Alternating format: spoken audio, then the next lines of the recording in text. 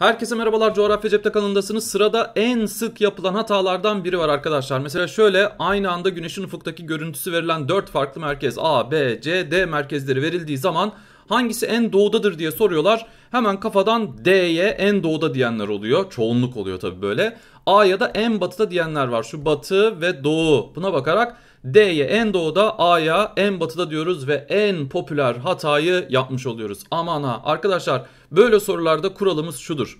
Güneş doğuda erken doğar, erken batar. Batıda geç doğar, geç batar. Yani yerel saat doğuda ileridir. Bakın şimdi güneşin doğduğu yer burası, battığı yer burası. Bunu bir yarış olarak düşünün. Güneş doğuyor buradan böyle gidip buradan da batıyor. Peki şimdi batmaya en yakın kim? En önden kim gidiyor? Yerel saatin en ileri olduğu eleman kim?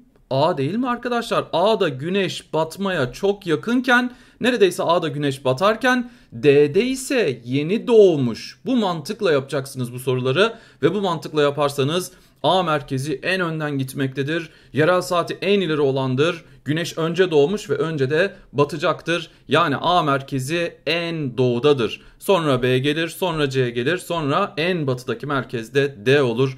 Buna dikkat etmenizi istiyorum arkadaşlar. En sık yapılan hatalardan biridir. Bu paylaşımlar bizim Instagram sayfamızda her gün paylaşılıyor. Çok sayıda böyle paylaşım var. Onları biz YouTube kanalında seslendiriyoruz. Instagram'da bizi takip etmeyi unutmayın arkadaşlar. Soru bankamızı alabilirsiniz. Deneme kitabımız var onu alabilirsiniz. Onların da bağlantıları videonun altında açıklamalar bölümünde. Her şey gönlünüzce olsun. Hoşçakalın.